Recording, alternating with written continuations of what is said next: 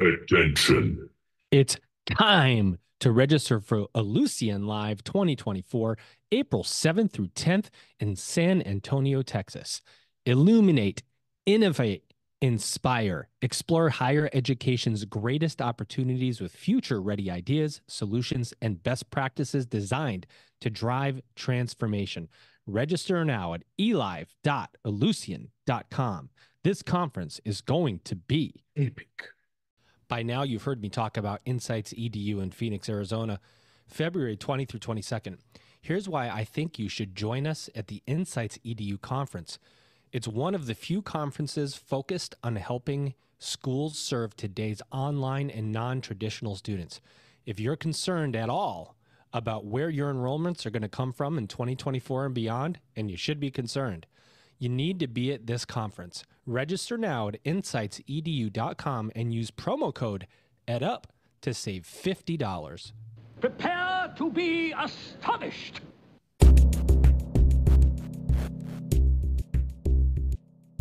Welcome back, everybody. It's your time to Ed Up on the Ed Up Experience podcast, where we make education your business.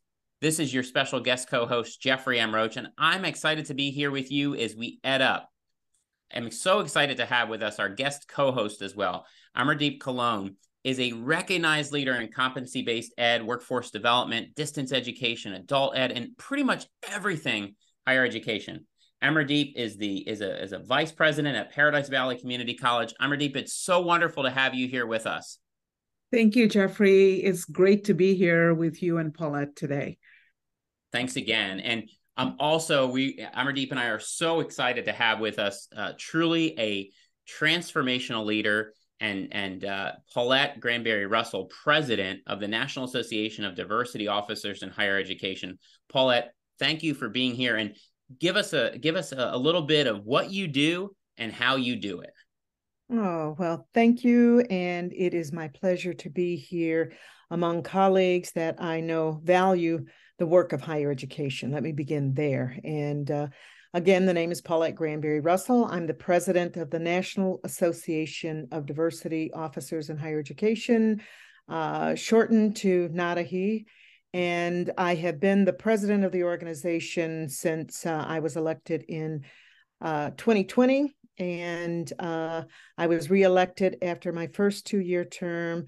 And so uh, I will remain as president until March of 2024. And uh, it has been a pure uh, joy, uh, although we've had some challenging times since I began president.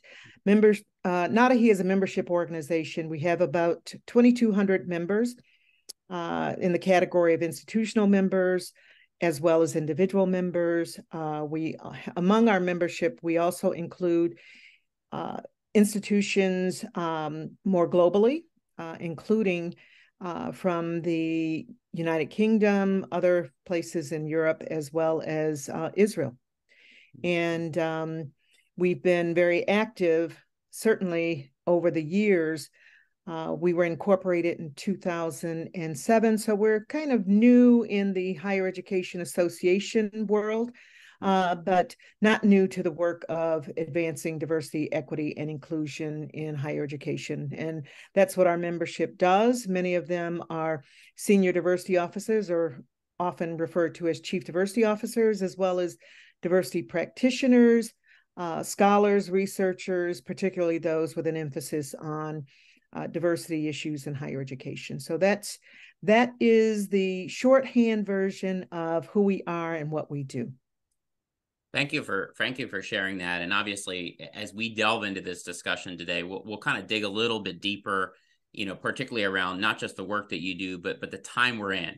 Uh, because to your point, you're you're leading at a very interesting time, but but also really an important element to remember that this is this work has been like this really forever uh, when we really talk about it. And so, Amardeep, I want to give you the first question.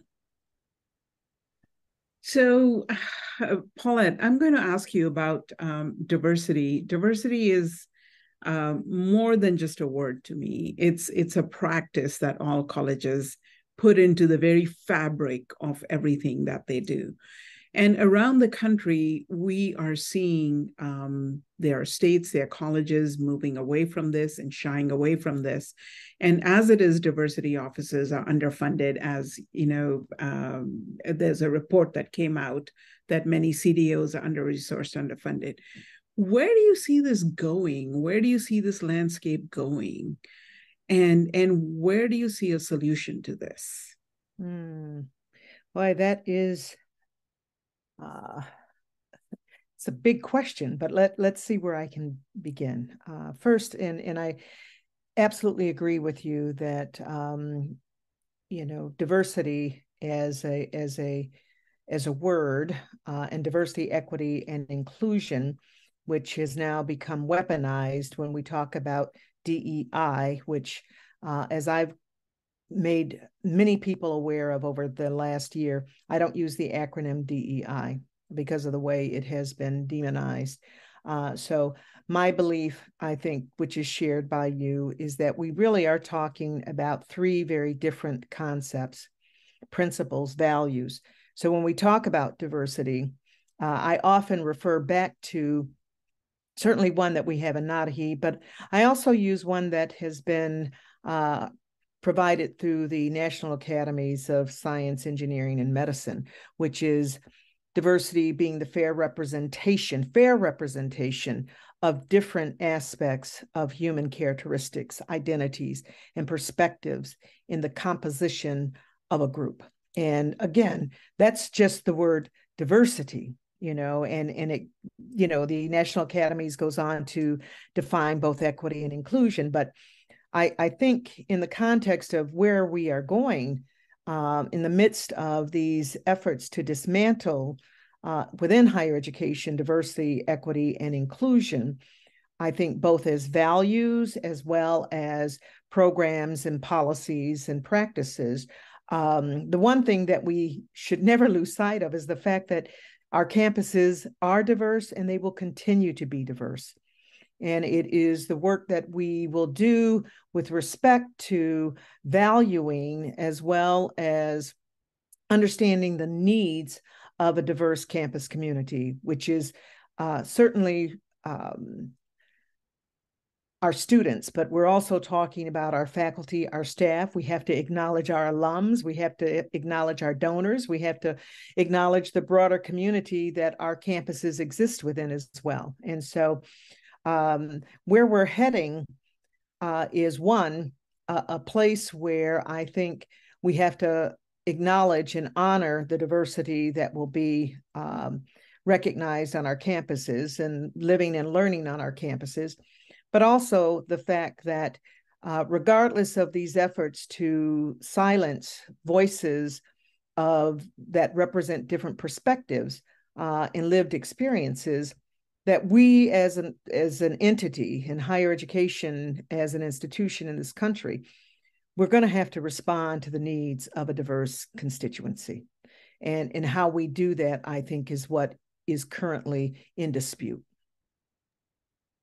That's very insightful and and a, really important question and and an element of how you are approaching it.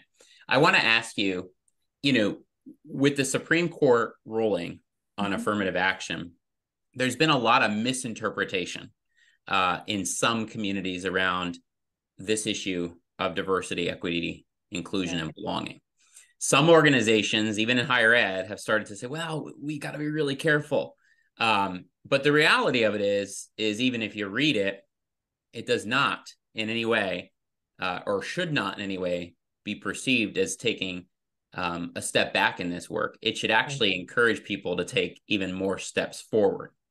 Right. And so I want to ask you, you know, as you look at this as an expert, um, what do higher ed leaders, presidents, trustees need to be thinking about, particularly as they think through this recent decision, but to ensure that we're still creating a sense of belonging and community for all voices going forward in what we all know to be the learning laboratory. And I will say the future belongs in education. And so if we don't do it now, when will we? Well, and it's let's let's think about this in in a couple of ways. Um, obviously, I think that, um, and and this is clearly a position that NADOHE has taken and one that I've articulated over the last almost year now since the intensity around the dismantling efforts arose. I mean, it's it's it's a framework that's being used. It's a framework that's being modeled um, across the country in states where legislation is being introduced. And one of the what I call the the four pillars of the dismantling efforts includes uh, what I think is the end result of the Supreme Court decision in June of of uh, this past summer, 2023. And that pillar includes what is uh, identified as the elimination of preferential treatment in admissions, which, you know, on its basis is disingenuous in terms of uh, the the way in which higher education approaches admissions. Preferential treatment um, suggests that individuals are being preferred over others on the basis of their race, and that clearly was not the case. Um, certainly not in the place, and, and cer- that's a position that we take as an organization, and others will dispute that. But certainly that was not the case in Harvard, and it was not the case at the University of North Carolina. And we have to remind people to be clear that that case, uh, where the Supreme Court basically found that the approaches being taken were unconstitutional and therefore um, unlawful in the context of the, the processes that were being used. They did acknowledge that um, there's no denying that race uh, impacts the lived experiences of our students. And, and so the court itself acknowledged that there are times when one can uh, utilize the lived experiences of students if that information is shared with the um, admissions office, for example, as a as a way in which to uh, give some acknowledgement uh, of those experiences based on race. Now, you know how all of this will play out. We'll have to wait and and see. But I think for us, when I I think about the the successes that we've had over the last 50, 60, 70 years is nothing compared to the inequities that resulted from, you know, for some, hundreds of years of neglect and discrimination. And, and so while it was the Supreme Court decision was discouraging, um, you know, we have to remind people that let's not overextend that decision um, to the broader work that must be done in higher education. So, right now, we are, I think, those of us who define ourselves as experts in the field or those who are practitioners in the field are beginning to think through how we apply um, that decision, how we draw from the experiences of at least nine other states that have lived under uh, laws that have banned race conscious admissions practices, um, as well as now having to adjust to some of the broader impacts and um, of legislation in states like Florida and uh, Texas. So, you know, this this attempt is, I mentioned earlier, the four pillars: banning um, preferential treatment in the admissions of students, misrepresentation of the work, banning mandatory uh, diversity statements and mandatory diversity training. Um, all of those, uh, those three are significant in the context of this broader work that's being done. And the fourth is the dismantling of what they call DEI bureaucracies, uh, like offices that I um, led for 22 years in higher education. I want to ask you a follow up to that. Yep. Because um, first of all, let me just say that I applaud you for being uh, speaking out as forcefully as you have. Uh, I was reading an article uh, that you were quoted in not so long ago, where you you referenced uh, your concern with both the private sector and even higher ed uh, leaders at the board level and at the president level and other levels for not speaking out enough against what's occurring in many many states and um, I applaud you because I know that's not easy. Uh, and the reality of it is, is we need more of it because what you're getting at is, is this is also an attack on education. Yeah. Uh, and I think uh, I am so encouraged that our vice president uh, Kamala Harris has has stated that so eloquently uh, as well. But I want to just ask you as a as a follow up to that, why do you find there's such a hesitancy to speak out? Because for mm-hmm. for so long, some of these same leaders were speaking out on other things. So why is there such a hesitancy now? Mm-hmm.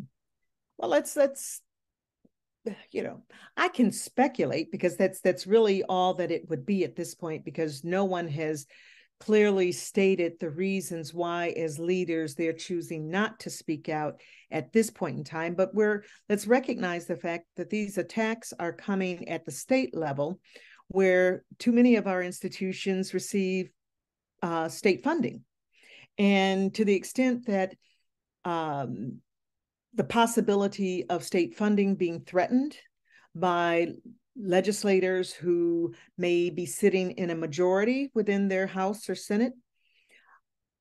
I think that can play into uh, some of the hesitancy to uh, speak out.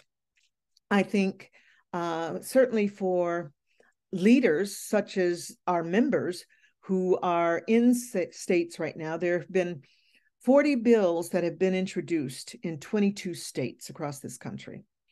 Um, and likely, you know, more uh, when, you know, the legislative sessions reconvene probably this winter, late winter, uh, January.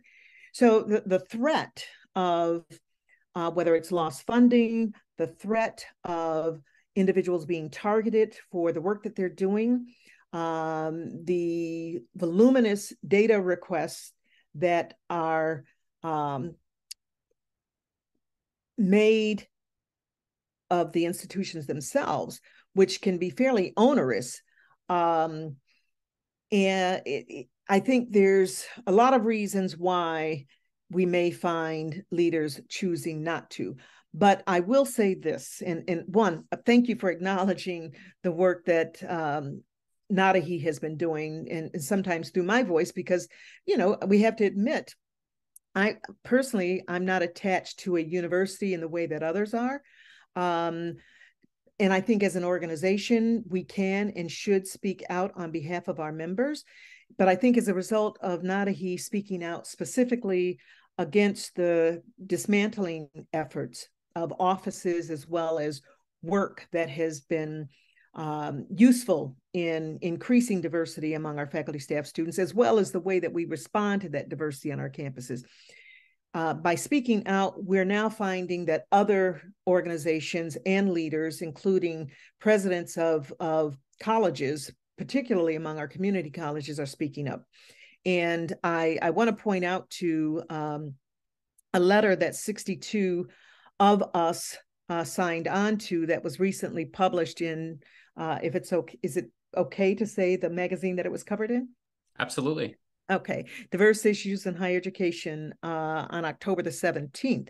And it was basically a coalition of academic leaders, uh, including NADOHE, that signed the letter indicating our goal to underscore that coalitions uh, with one another, uh, one, we're forming and we'll continue to build uh, in ways that I think are significant and important. We want more communication. We want more action. We want more coalitions uh, to build among us in higher education, understanding what's at stake. Um, the progress that has been made, which has been incremental in nature, uh, the importance of diversity in a democracy, um, not silencing the voices, not diminishing um, the type of curriculum that can be taught, um, and the research that should be done. Acknowledging the role that uh, higher education uh, plays in creating the workforce in a 21st century uh, and into the future and the needs of this country, particularly if we think about it in the context of STEM. Uh, STEM being science, technology, engineering, mathematics, and medicine. Uh, let me not forget medicine and, and the role that research has played in understanding the needs of a diverse country and and and globally as well. So that's that's what's at stake. Uh, and the absence of voices, um, more need to speak out, uh, but we're starting. We're beginning to see the tide turn just a little bit. Are you kidding me? No, I'm not. For a third straight year, the EdUp Experience will be recording live at Ellucian Live 2024 this year in San Antonio, Texas, April 7th through the 10th. Illuminate, innovate, and inspire. That's the framework for the conference. Leaders from institutions around the world will converge at Ellucian Live 2024 to discover game changing technology, share industry insights, and build powerful connections. It's time to explore higher education's greatest opportunities with future ready ideas, solutions, and best practices designed to drive transformation. You can register now at elive.ellucian.com. Epic. Oh, yeah. You've heard me talk about the Insights EDU conference. Well, let me tell you three reasons why I think everyone listening should join us in Phoenix, Arizona on February 20 through 22nd for Insights EDU. One, it's one of the few conferences focused on helping schools serve today's online and non traditional students. Two, you can expect a mix of speakers you won't hear anywhere else, including higher ed leaders from Google, LinkedIn, Adobe, and more. And reason three, Insights EDU has an agenda packed with sessions discussing the latest trends in higher ed leadership, marketing, and enrollment management. Register now at insightsedu.com and use promo code EDUP to save $50 off your registration. Oh, yeah. So that's a perfect segue into the question that I had because I want to move a little bit from higher ed into the workplace, into workforce, and you know how closely those are connected. Mm-hmm. The pandemic, I've, I've seen on your bio that you are an advocate for gender equity in STEM, which mm-hmm. I am too. And so I really applaud you for doing that work. Um, the pandemic played havoc on that gender equity in STEM. We saw almost a million, more than a million women exit the workforce because they were going to go look after their families. How can we recover from that? And what can we learn from that to put into place policies, processes, supports in the future so that we don't bleed like that in the future? Yeah. That is an excellent, excellent question. And, and thank you for acknowledging my interest in that area. Uh, let's let's just talk about um, the impact of the pandemic. And um, what it presented us were opportunities uh, to create the kind of flexibility that I think now the workforce for today is insisting upon, demanding, and quite honestly, employers recognize, including higher ed, that we have to do more to accommodate the needs of our workforce. You know, it's interesting for me, I, I can take this issue back to uh, my earlier career, um, and I think back in the 80s when I wasn't with higher ed, but I was uh, in government. And I was one of those early advocates for what we called flexible work schedules. And those flexible work schedules were um, not embraced in the way that they are now. Uh, and and the the real emphasis behind certainly back in the 80s was the need particularly for parents but particularly women who were often uh, and recognized even today as the primary caregivers not only for their children but also for uh, elders in the family.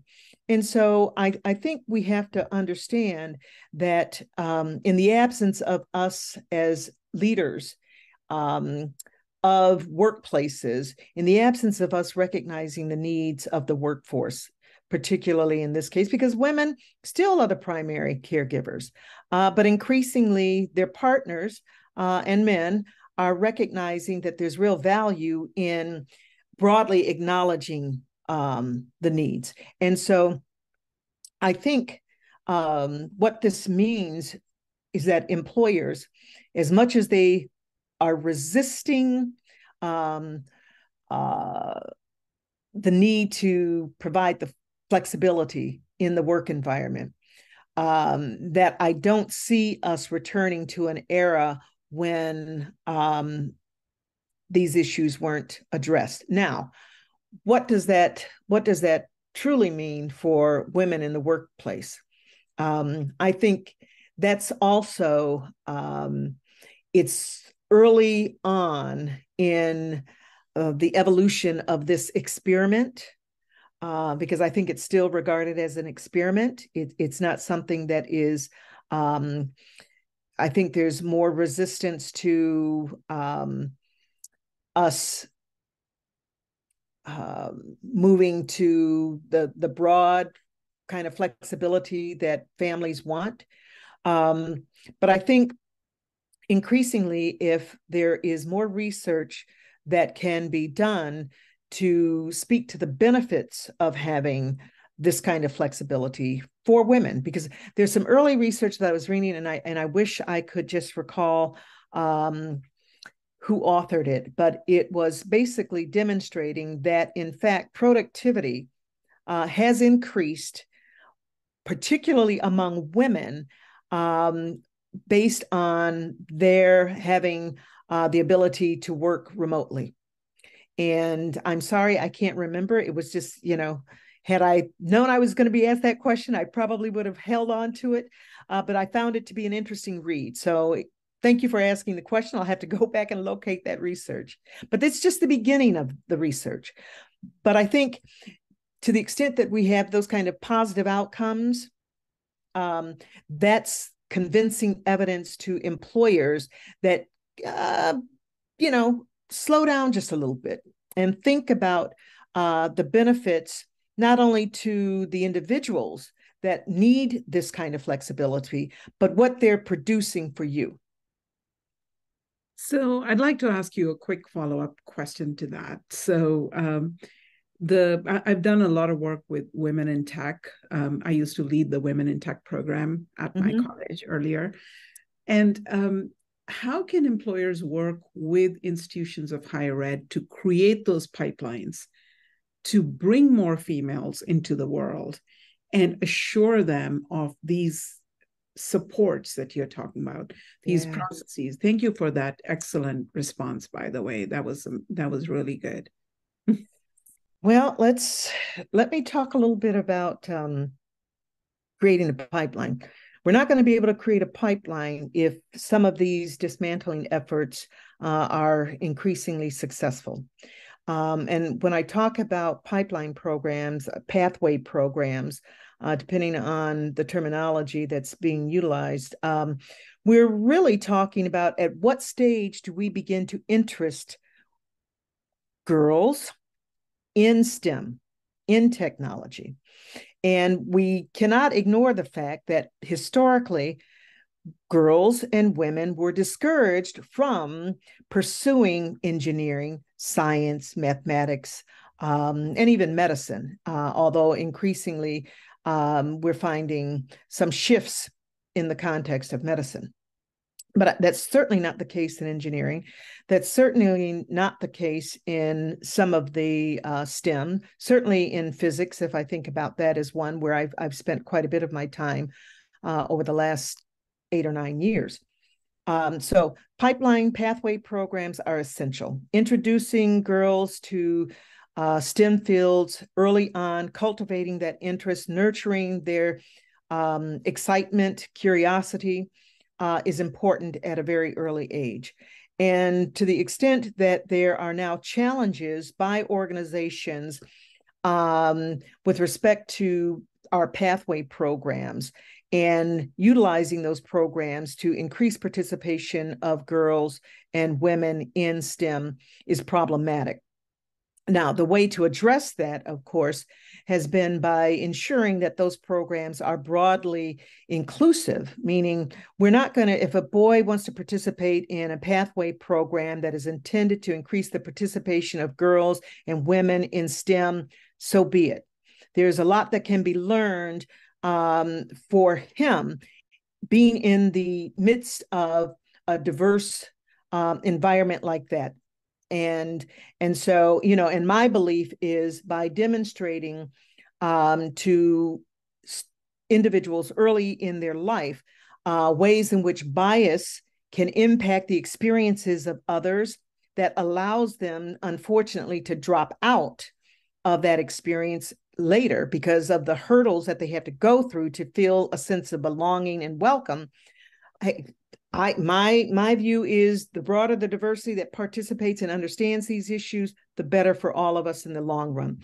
And so for me, it has been uh, creating the pathways, um, building the academic and social supports for young women, um, or certainly those who identify as female in higher education, using uh, the research, evidence-based research that we now know informs us about what the experiences are uh, for women in STEM, um, so that we can address those and begin to dismantle.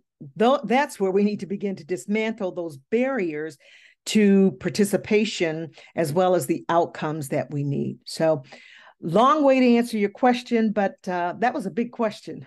No, thank you. Thank you for answering that. I just want to add one thing here before I turn it back to Geoffrey is that um, it's an old piece of work, but Unlocking the Clubhouse with Margolis and Fisher talks okay. exactly about that how young girls, even as young as fifth grade, get discouraged from these fields by the entire ecosystem around them. Yes you know yep. so thank you thank you for that amazing oh you're welcome and i'm just going to give a plug to uh, title ix uh, if i can because i think for me again i i remind people i'm a baby boomer so i i was in high school uh, in 72 and one of the things that i wanted to do was pole vault and I went to the coach, who happened to be male, and um, told him I wanted to pole vault. Well, they didn't have pole vaulting for girls at the time.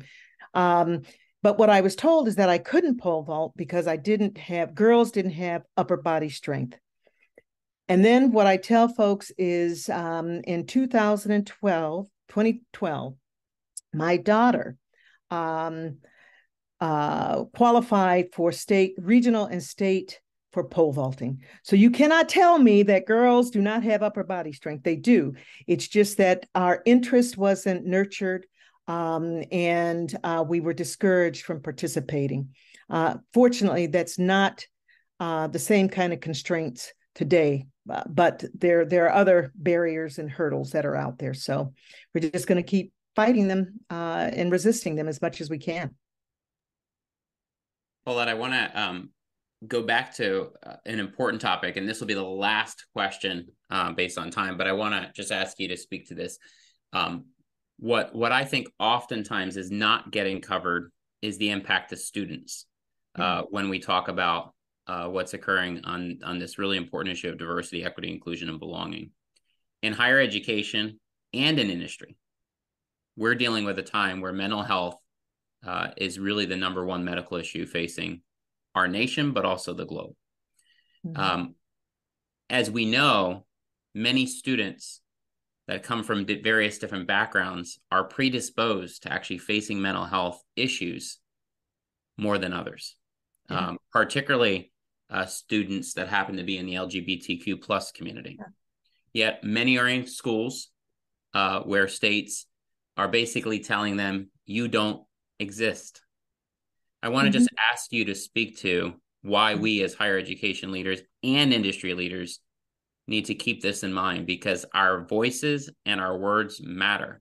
Um, and if we don't take the right steps, uh, we're actually hurting our not our current but our future generations uh, in pretty significant ways, which I think is just absolutely despicable and, yeah. and disheartening. Well, and and along with being despicable and disheartening, it is cruel.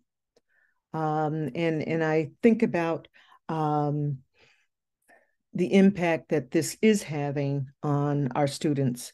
Um, you know, students broadly, but certainly to the extent that these dismantling efforts are clearly intended to impact the lived experiences of students within the LGBTQ plus community specifically um, by dismissing gender affirming care, uh, curriculum, uh, social supports, academic supports, uh, creating a very hostile environment for these students um, by these proclamations of their unworthiness um, and trying to take us back to an era where the voices of those students were silenced and their existence was not to be acknowledged.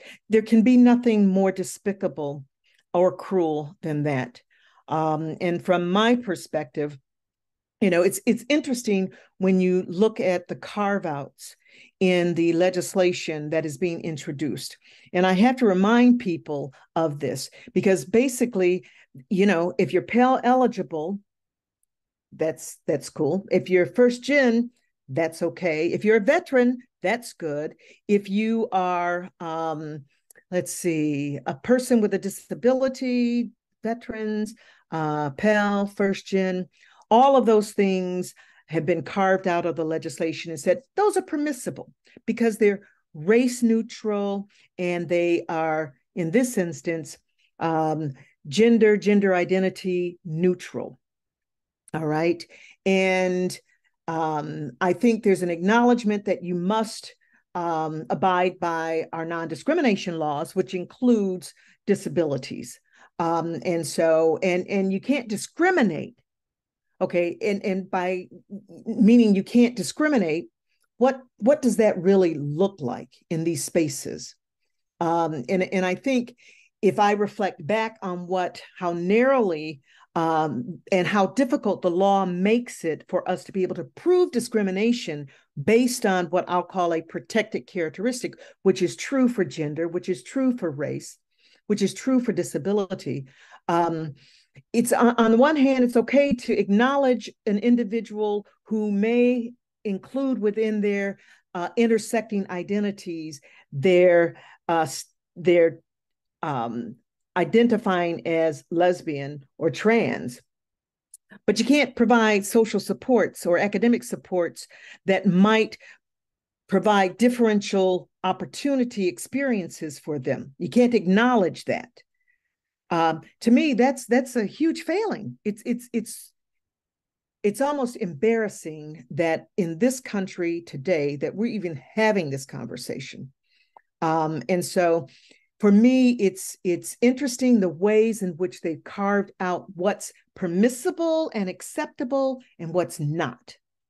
So we're we're moving back in time where race is of no consequence now of no consequence doesn't mean that we are not going to uh, ever experience discrimination.